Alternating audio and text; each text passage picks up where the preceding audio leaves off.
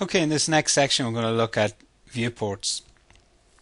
And initially we're just looking at viewports in model space. Now I have my own sort of personal opinion on viewports in model space. I'm not a great fan and to be honest with you I never really use them. And even when it comes to 3D you'll notice that the 3D manual will make a lot of use of model space viewports. Me, I kind of stick to the one viewport um, my whole kind of thinking on viewports is it splits the screen up too much and makes the screen smaller than than necessary. You know, so um, that's my own sort of personal opinion. But you know, you can take a look at them and see what you think yourself. So I'll just show you how to how to use the viewports and, and that now. So um, if you look here on the ribbon, there's a, a view view tab here, and all my nice little icons here associated with viewports are, are up here. We could also go to tools and toolbars, AutoCAD. Uh, there's a viewport viewports toolbar as well we could use.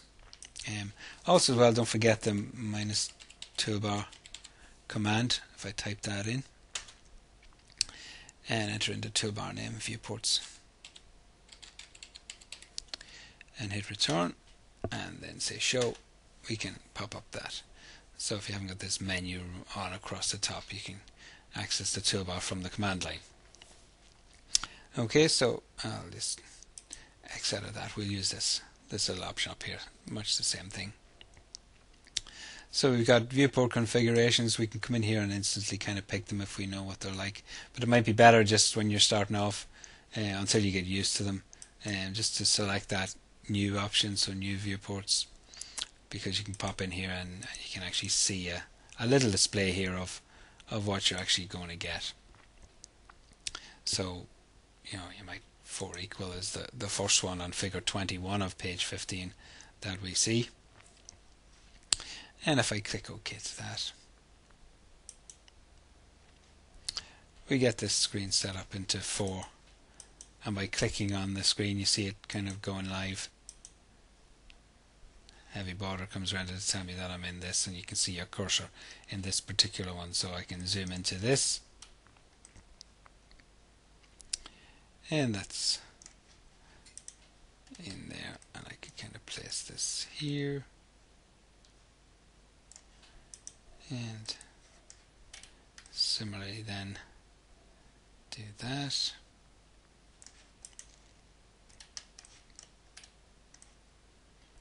and there. So you can kind of get four views. Simple and kind of plain enough. Now, it would be nice if you could actually print those out, all those four views, but you can't. Which is why I kind of see it as a bit of a waste of time. All you're kind of really doing is reducing the size of your, your screen area. If you look, that's all I can work on at the moment, that area. And I kind of said, so why would I want to reduce the screen size any more than it is? Uh, so that's why I'm not a big fan of of these model space viewports.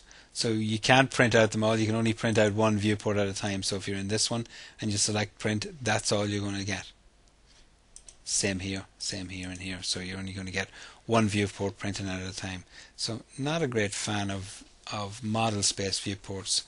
Um, however, when it comes to paper space, we'll be using them extensively, and they're uh, best things since sliced bread. They're really, really good and really useful. So we'll be using them extensively in, in paper space. However, model space, totally down to you whether you kind of use them or not. You know, we can kind of split them up into then three horizontal. You can kind of change them on your own. Two horizontal, two vertical. You can change them all for your own sort of needs. Um, yeah, and if you make a change in this, let's say I delete all that stuff, it deletes obviously in this because you're looking at the same same drawing. You know, if I do a control Z when I'm over here, doesn't matter, it's still still kind of works, it's still the same. So you're working in the same drawing. All it does is actually just show you a different like from a different camera angle if you like. Pop back here, go back to a single viewport, and we're back to where we were from the start. Um, so simple enough, not not too overly complicated viewports just at this stage. Um, have a little look at it, see what you think yourself. like I say, I'm I'm not a major fan of it, and I'd kind of be concentrating more on, on paper space viewports than than these model space viewports. So there's a little exercise at the end of that as well. Maybe you could have a go at that anyway. Okie doke.